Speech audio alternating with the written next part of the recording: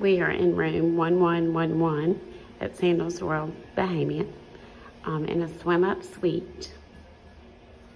See the bathroom here.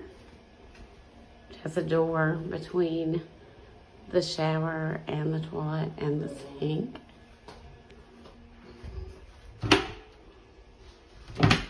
A closet with a safe, ironing board, luggage rack, extra pillows and blanket and. Then a door here with a full, with, um, to separate the toilet from the sink area.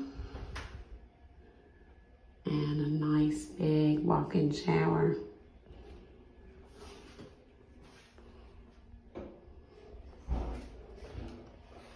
And then have a full length mirror.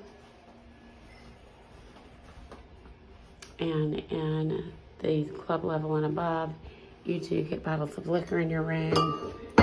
Those do not come below club level. That drink was actually mine. I just set it down. Coffee maker. And then a refrigerator.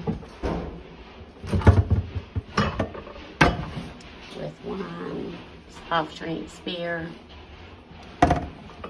juices, mixers. And then here's the bedroom. King size bed, gorgeous decorations. This is one of the newly renovated rooms.